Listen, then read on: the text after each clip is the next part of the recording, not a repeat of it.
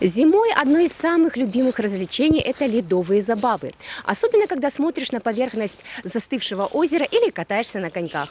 Но порой лед представляет большую опасность. Особенно, когда он свисает с крыш домов.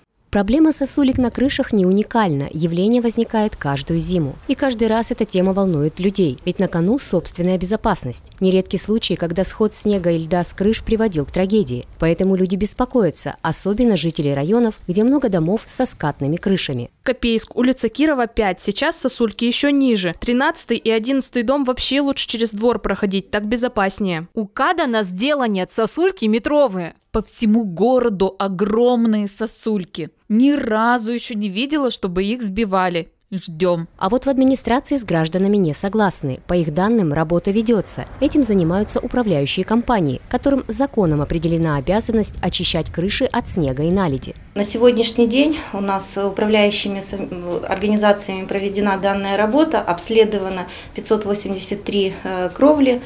И э, на текущий момент э, очистка произведена 293 кровель. А, учитывая, что на сегодняшний день на улице у нас стоят низкие температуры, а как мы знаем, что производство работ по очистке кровель а, осуществляется при температуре не ниже 15 градусов и при силе ветра не менее 15 метров в секунду. То есть на сегодняшний день запланированные работы, которые планировались управляющими организациями, они отменены, перенесены на а, более, скажем так, благоприятные погодные условия.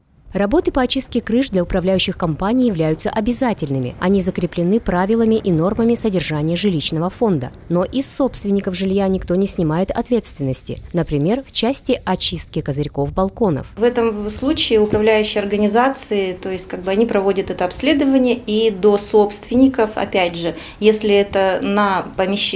кров... Э, козырек относится как э, имуществу, то есть собственников, то есть собственникам доводится уведомление.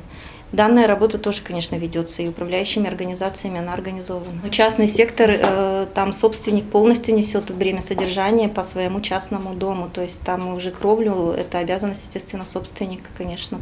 Вопрос очистки крыш – предмет постоянного мониторинга властей. Информация о выполненных управляющими компаниями работах ежедневно передается в городскую администрацию. Далее о ситуации в муниципалитетах докладывают государственной жилищной инспекции и областному Минстрою.